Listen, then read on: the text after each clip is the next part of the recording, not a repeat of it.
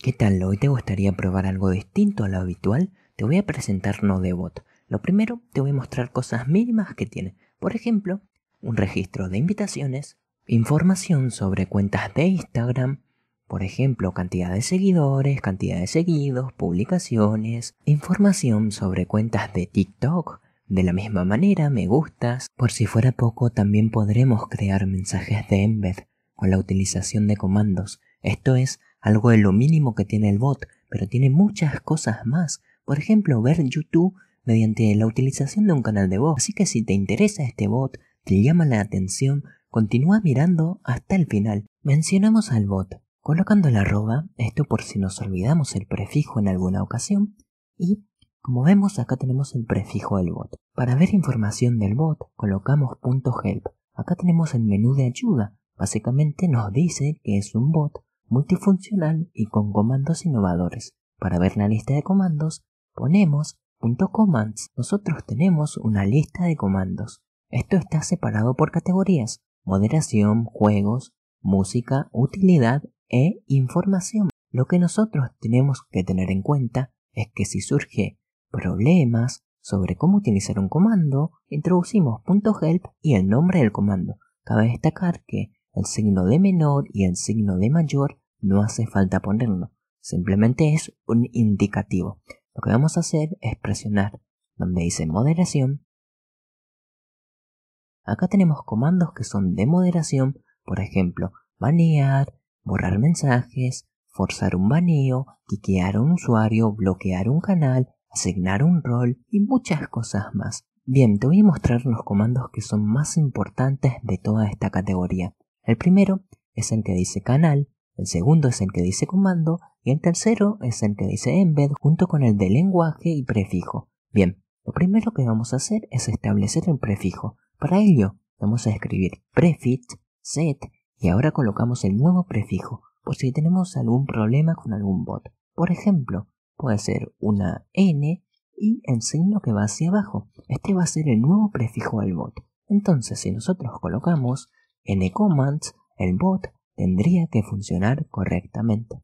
Voy al apartado que dice moderación y como pueden comprobar, el bot ahora actúa con este prefijo. El prefijo puede ser el que ustedes quieran. Bien, algo que quiero destacar es el comando de escucha. Este comando es súper importante. Lo primero, voy a ir al canal que dice hola, voy a poner nhelp y como ustedes pueden comprobar, el bot actúa perfectamente. Pero lo que yo voy a hacer es establecer un canal de escucha, agregando el comando añadir y seleccionando un canal, por ejemplo general.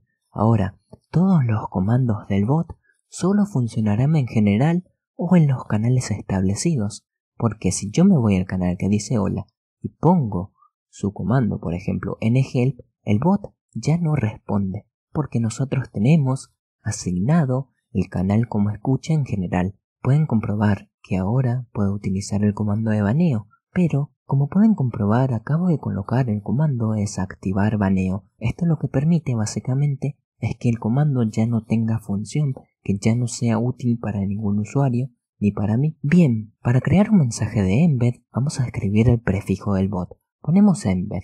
Luego colocamos el canal donde queremos que se envíe el mensaje, por ejemplo en general. Colocamos el signo más, seleccionemos un color por defecto los colores siempre vienen en inglés. No podemos establecer un código de color. Colocamos el más. Importante, el más siempre tiene que ir. Ahora colocamos un título para el mensaje de embed. Por ejemplo, embed.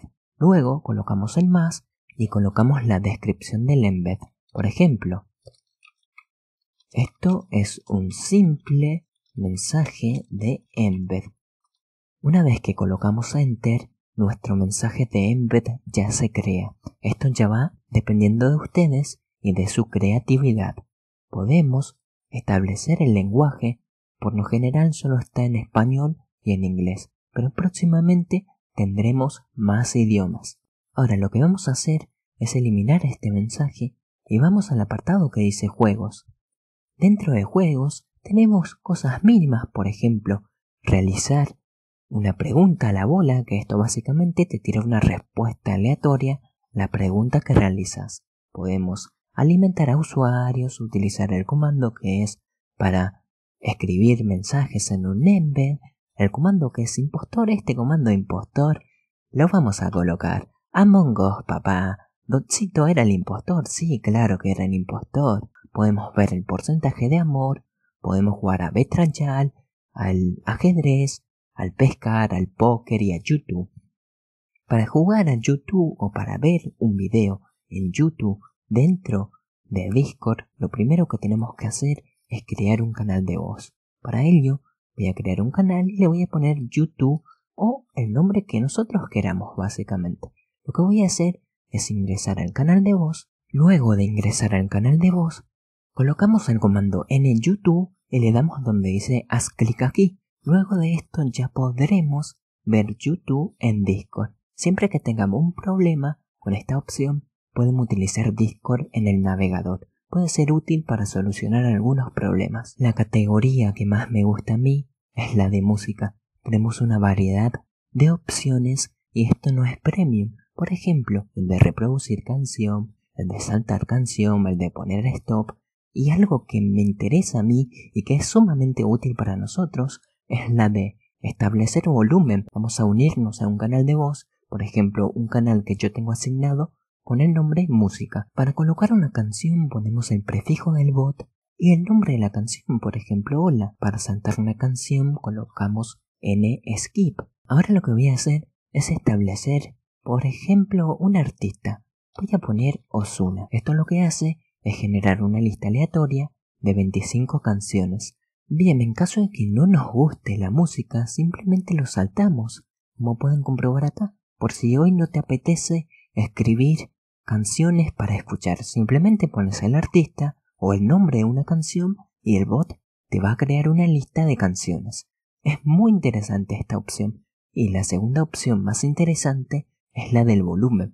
Podemos establecer un volumen entre 0 y 100. Por ejemplo, volumen 50. Ustedes pueden establecer hasta 100 de volumen y si quieren aumentar más el volumen, van al bot, le dan clic derecho y aumentan el volumen desde el apartado que dice volumen de usuario. Dentro de la categoría de utilidad tenemos cosas mínimas, por ejemplo, colocar el avatar del usuario, conseguir la invitación del bot, votar por el bot, establecer un emoticon con el comando SAI le podemos decir al bot que diga lo que sea. Ahora, dentro de la categoría de información tenemos cosas interesantes. Ver información sobre cuentas de Instagram, este comando lo voy a utilizar. Bien, como pueden comprobar, acá tenemos información de la cuenta de Instagram. Con el comando de TikTok y el nombre de usuario, podemos adquirir información sobre un usuario de TikTok. Con el comando nserver-info podemos ver la información de nuestro servidor de Discord. Por ejemplo, la ID del servidor, la cantidad de miembros, el número de emoticones estáticos y animados. También podemos ver información sobre los roles creados, la posición en la que se encuentra, si está separado, si se puede mencionar, la ID del rol, el nombre del rol, el código de color del rol y si este rol es gestionado por Discord, es decir, si el rol está creado por Discord. Otra cosa más, si te surgen dudas o problemas, puedes utilizar el comando nsupport y esto te permite ingresar al servidor de soporte del bot. De igual manera, si tienes algún tipo de problema, me lo dejas en la caja de comentarios y veo la manera de cómo ayudarte. Ahora sí, una suscripción, un me gusta, un comentario, alguna sugerencia para un próximo video siempre es recibida.